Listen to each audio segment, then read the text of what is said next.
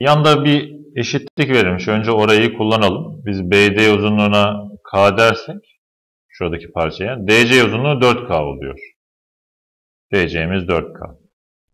Şimdi Öklit üçgeni dik üçgende hipotenüse dikme indirilmiş. Biz Öklit teoremini uygulayabiliriz birinci kuralı.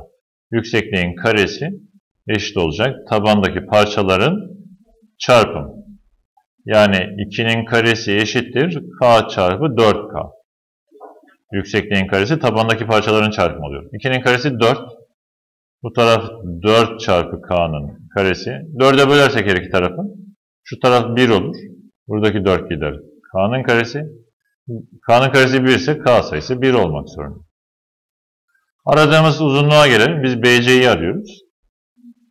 BC'yi. BC 5K boydan boya. K değeri 1 olduğuna göre bunun sonucu da 5 olmalı. İşlemin sonucu 5.